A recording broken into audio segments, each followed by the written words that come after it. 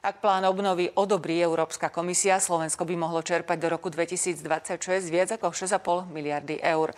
S plánom obnovy však nie sú spokojní mnohí, napríklad potravinári, opozícia ani zástupcovia klubu 500. Hlasovať proti sa rozhodol aj minister pôdohospodárstva.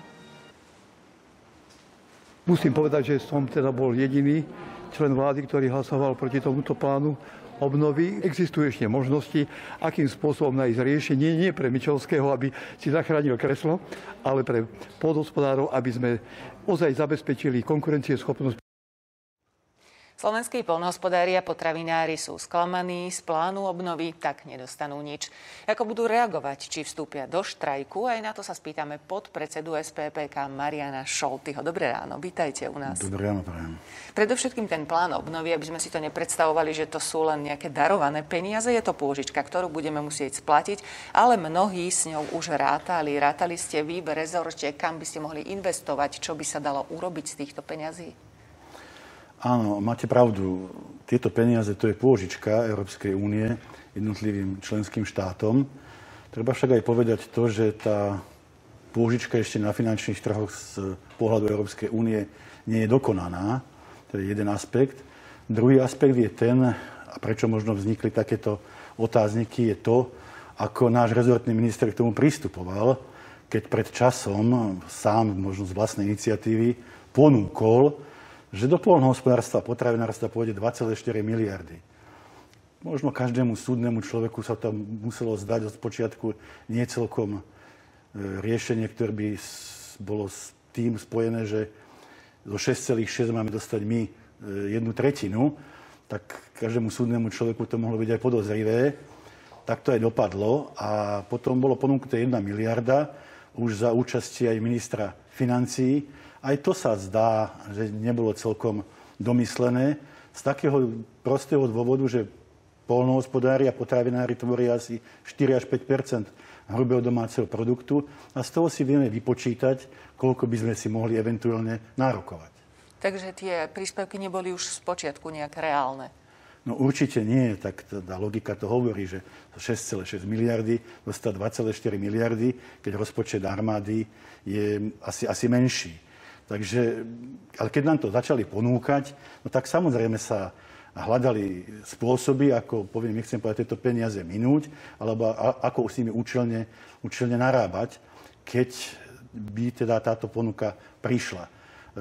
Hľadali ich polnohospodári, hľadali ich potravinári, ale musíme si povedať, čo je to obnova a keď obnova, tak musíme asi niečo obnoviť.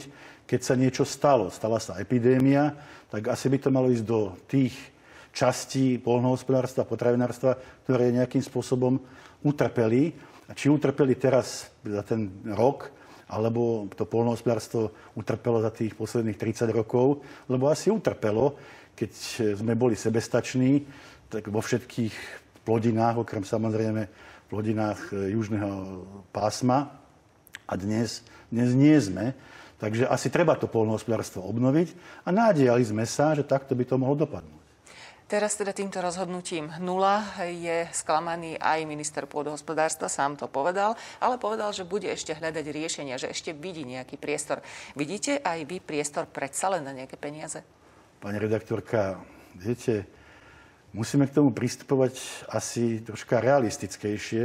Keď niekto ponúka 2,4 miliardy, to samotné o sebe vzbudzuje nejaké, nejaké podozrenie.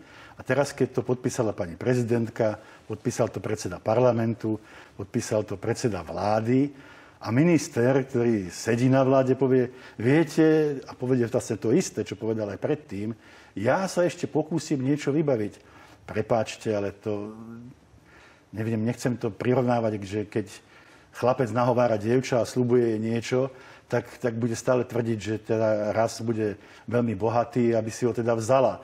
No tak e, vy by ste tomu uverili? Takže ak tomu dobre rozumiem, považujete to len za vyhlásenia, viac menej politické. Ale, ale určite, tak ako by sa mohla tá, tá zmluva otvoriť? Možno z nejakých iných zdrojov. Viete, my sme nič nečakali, my sme nič nepýtali, tak e, teraz Teraz ani nemáte byť prečo sklamaní, ale tak. už ste pripravovali isté plány. Predsa len ste pripomienkovali v tom medzirezortnom konaní aj tento plán. Takže s niečím ste rátali, že by mohlo Ale prísť. určite tých pripomienok bolo takmer 2500 z, každých, z každého rezortu. A ako som už povedal, je to plán obnovy, ktorý všetci očakávajú, že by nejaký, nejaký mal byť, a hlavne odolnosti. A to si treba uvedomiť, že odolnosť, asi tá Európa niečo nám ponúka, keďže tu je takáto pandémia, ktorá je v podstate nečakaná, keďže zmena klímy tu je a sa zhoršuje, tak asi by sme sa mali všetky štáty pripraviť, o niečo obnoviť a pripraviť sa, aby sme boli odolnejší voči takýmto nečakaným zmenám. Ďalšie krajiny únie dostanú nejaké financie. To keď je od 1%. Keď myslíte na polnohospodárov a potravinov, určite dostanú. A tu sa dostávame do takého rozporu, že nám bolo povedané, však my máte poviem, z inej kasičky. Ale to tak nie je. To, čo dostávajú polnohospodári a potravinári, dostávajú tak, ako dostávajú všetci v Európe, ale my stále ešte dostávame menej percentuálne, ako dostávajú treba z francúzsky alebo holandsky. Čiže to nie je tak, že však pozrite sa, nebuďte lakomí, tuto máte dosť. To nie je tak, lebo to polnohospodárstvo je v tej situácii potravinárstvo preto, lebo to nie je dosť a už to nie je dosť roky rokúce. Áno, tie argumenty dokonca aj samotného premiéra Eduarda Hegera boli také, že vy dostávate už dosť prostriedkov zo spoločnej polnohospodárskej politiky Európskej únie, aby som to upresnila. Áno, čiže to nie je, že by to rozdával jeden, druhý, tretí. Zo spoločnej polnohospodárskej politiky, ktorá má byť spoločná, aby sme všetci dostávali rovnako, aby tie podmienky španielského, francúzského a slovenského polnohospodára boli identické, lebo uvedomte si, že pred 30 rokmi na Slovensku sa pestovali pestovala zelenina pre celé veľké Československo, ktoré bolo oproti Slovensku, teda ešte, nie teraz je 5 miliónov, bolo 15 miliónové a sa to dokázalo dostať až do Prahy a za Prahu a stačilo to. Dlhodobo upozorňujete teda na takéto problémy vo vašom sektore, aj možno na nejaké tie nedorozumenia e, s ministerstvom. Vyhlasili ste nedávno aj štrajkovú pohotovosť. Budete teda štrajkovať? Dá sa toto považovať za takú poslednú kvapku? Viete, my sme nevyhlasili štrajkovú pohotovosť preto, lebo sme predpokladali, že nedostaneme nič z plánu obnovy. Tá štrajková pohotovosť je tu z iných dôvodov, preto, lebo tie predchádzajúce rozhodnutia minister boli rovnako pre nás nepriateľné, ako je nakoniec aj toto. E, tu bolo niekoľko poviem, veľmi zvláštnych zámerov. Potom sa to podarilo nejakým spôsobom ministrovi vysvetliť.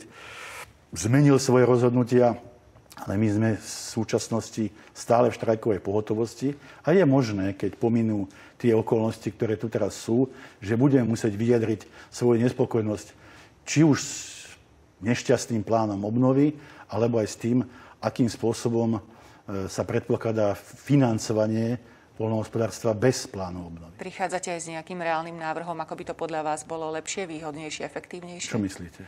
Myslím to financovanie a tie veci, ktoré teraz podnietili vašu štrajkovú pohotovosť, či ste aj vyjadrili pripomienky konkrétne? Určite robí sa stratégia na roky dopredu, čiže tu musíme byť o mnoho, o mnoho realistickejší a hlavne my už teraz musíme byť opatrnejší, keď máme dočinenia s takým činiteľom, ktorý ponúka 2,4 miliardy a dostaneme z toho nulu. Čiže viete, to, tá dôvera, dôvera v vyhlásenia je asi na úrovni tej, toho plánu obnovy. Ja vám veľmi pekne ďakujem za vysvetlenie týchto pojmov, za rozhovor. Hovorili sme s Marianom Šoltým aj o pláne obnovy a financovaní pôdohospodárstva.